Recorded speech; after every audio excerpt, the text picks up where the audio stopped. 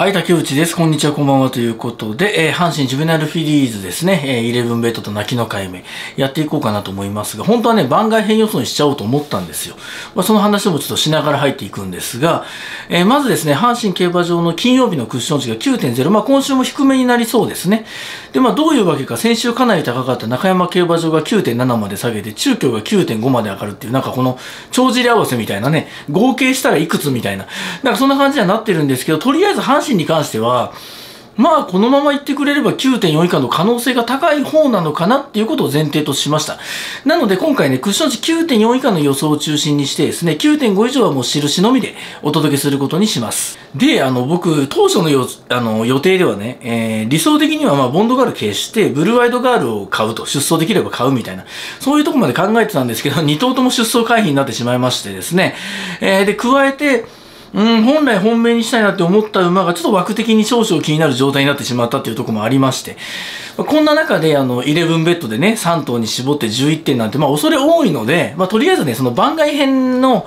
あの、予想にすることもそれで考えたんですよ。なんですけど、まあ、一応11ベッドで3頭選びつつですね、泣きの買い目をちょっと手広く買うみたいな、そんな形でね、今回お届けしようと思います。で、えー、本命まずね、サフィラにしました。えー、阪神芝1600メートルの面白い傾向として、クッション値がね、高高い時より低い時の方がなぜかね、前にポジションを取った馬の成績がちょっと上がっているっていうことがありますで、クッション値発表後の過去3回の阪神ジュベナイルフィリーズって全部クッション値9.5以上なんですよね。もう9.8とか10以上の時もあったはずなんですが、そこであの、サシウマが構想した印象が強い、えー、レースになっていて、まあ、競馬ファンもそういうふうに思ってるでしょうから、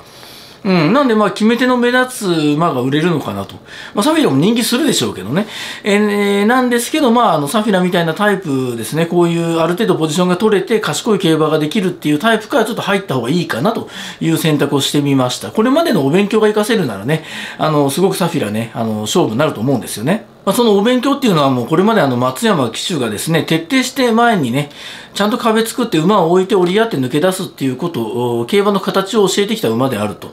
でずっとね、デビューから乗り続けてますが、やはりその先々を見据えての競馬っていうのをデビューから前線騎乗して行ってきたことがすごくプラスだなと思うんですよ。で、前に行きたい馬がね、多いコンソーなので、スタートで下手打っちゃうと理想通りのポジションにはならないと思うんですけど、外目ですしね。なんですけど、まあ、過去のレースを見ても点が速い馬なんですよね。別に早く出てね、強引にでも逃げちゃおうと思えば逃げれるぐらいで、で、逃げて結果出すこともできたはずなんでしょうけど、それをしないで、こういう、あの、勉強しながらやってきたと。はい、なので、まあ、あの、前に行きたい馬たちがわーってね、戦乱作って、その後ろにピタッとつけれたら、一番ね、ベストなポジションでの競馬ができる可能性も結構高いんじゃないのかなと。まあ、前に行きたい馬が多ければね、むしろ高ポジションでね、前に馬を置いて、あとは追走するだけみたいな競馬ができてもおかしくないですし、あとはもう道中から直線で仕掛けるところまでの過程ですよね。これまでやってきた競馬で対応していくだけだと思うんですよ。で、その上で松山騎手がこれまで全騎乗している経験から、あともうレースの中で微調整するだけなんじゃないのかなと。信頼関係もあると思いますしね。はい、それで勝負になるんじゃないかなと思います。で、過去3戦のえー、サフィラの走ったクッション値なんですけど、9.1と9.2と、この2つしかないんですよね。低めなんですよね。で、例年通り高いクッション値でね、えー、10の、えー、10超えてるとか、10手前とかね、まあ9後半ですよね。そういうクッション値での阪神ジュベナイルフィリーズだったら心配だったんですけど、まあ、一応金曜9.0なので、これならまあちょっと安心感増すかなと。で、この画面はあの、サフィラのね、追い切り判定動画の時に使った画像のままなんですけど、まあ、あの、馬と調教の部分は変わってないのでいいんですよね。はい、えー、もう調教もこの馬のサフィラの調教が固まっている感じです。これまで大体同じような感じなんですよね。で、まあ、コースと調教の相性は普通ですし、まあ、池添厩舎だったらね、やっぱ姉妹11秒台の加速ラップとかいいんですけど、うーん、まあでもちょっとね、えー、回収率的な部分で黒三角にはしました。ただ、その、今回のね、えー、まあほとんど12秒台まとめの加速ラップみたいな形ですけど、勝率もね、低くない2桁ありますし、10杯以上ありますし、はい、副勝率も30%台前半ありますから、まあ、一定の信頼度はあるというところもありますので、はい、えー、ずっと買い続けていくんだったら、池添級、池添厩舎をずっと買い続けていくなら、この調教買い続けていると損しますけど、なんですけど、まあ、単発で見たら別に悪くないかなと。で、えー、対抗にスプリングノバということでですね、あの、まあ、追い切り判定動画で紹介した通りで、コンソーで出走する馬の中で唯一、阪神芝1600メートルのコース特注調教に該当しているっていうところが大きいなと。ただね、個人的にはね、あの、僕400キロに満たない馬を買うことはほぼないですよね。420キロ以下でもないですからね、めったに。なんで、まあ、前走394キロとめちゃくちゃ小柄な馬なんですよ。で、そこで買うか買わないか迷ったんですけど、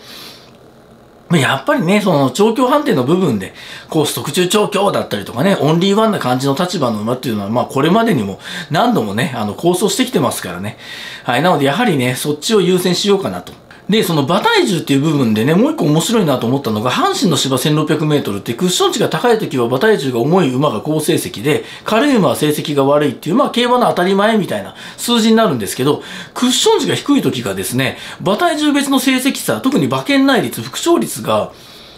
結構ね、フラットに近くなってね、あんまりね、差がないんですよ。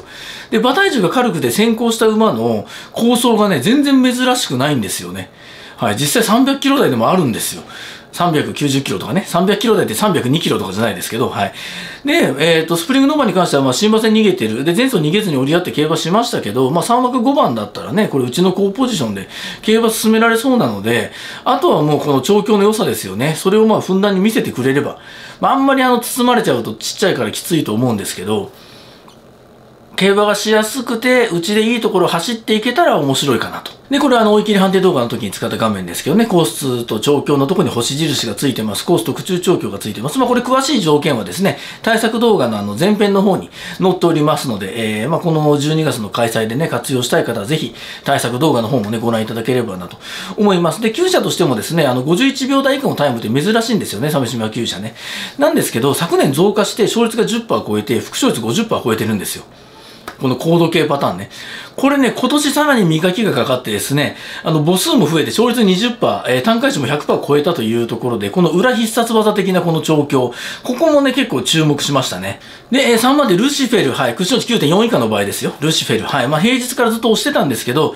ブルーアイドガールがいなければね、ルシフェル本命に、本命、ルシフェル本命？ル ルシフェル本命にね、本命とルシフェル混ざっちゃいましたけど、したいなと思ってたんですけど、ちょっとね、枠が気になっちゃって、はい。で、あの、まあ、一応この馬ね、1800から2000走ってきた馬なので、マイル戦でこの馬のこれまでの競馬見ても、まあ、おそらく後方からの競馬になるんじゃないのかなと。で、早めに動いて直線に入った時点で、まあ、勝負圏内、行為っていう競馬すると想像はしてるんで、結果的に前有利っていう点の、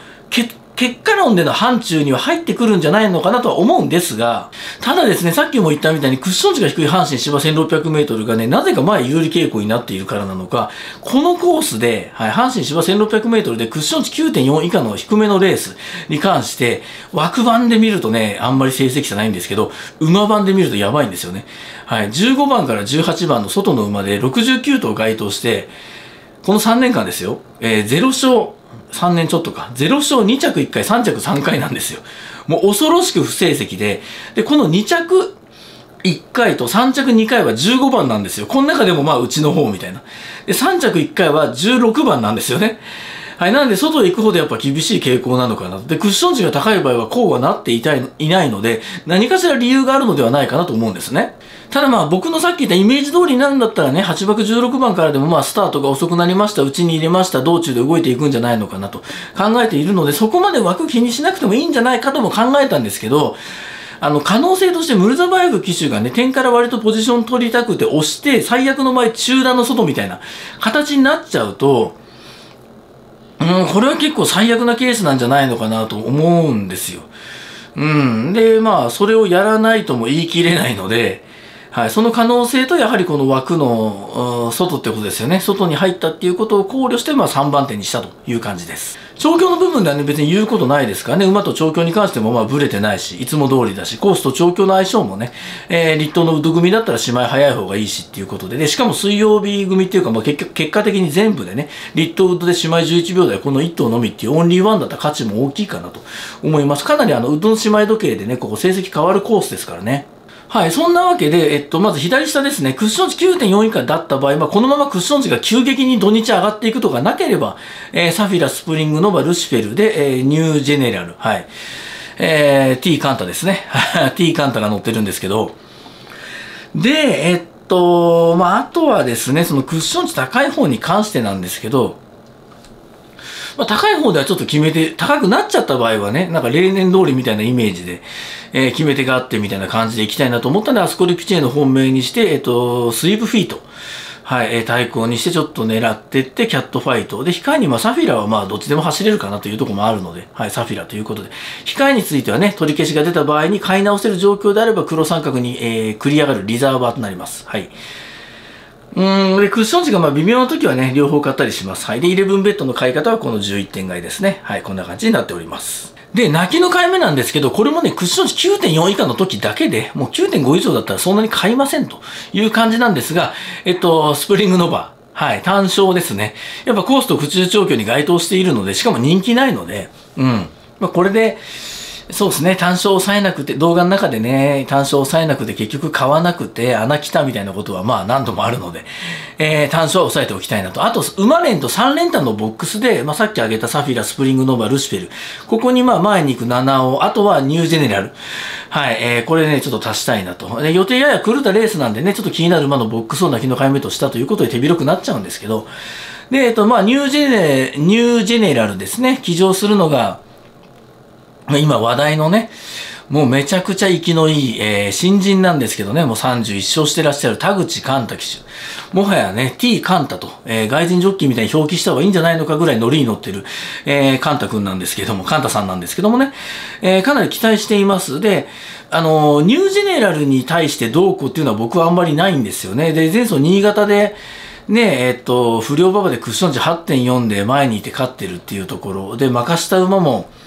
実装活躍している馬なんでね、ほとんどいないという状況なので、ニュージェネラル同行じゃないんですけど、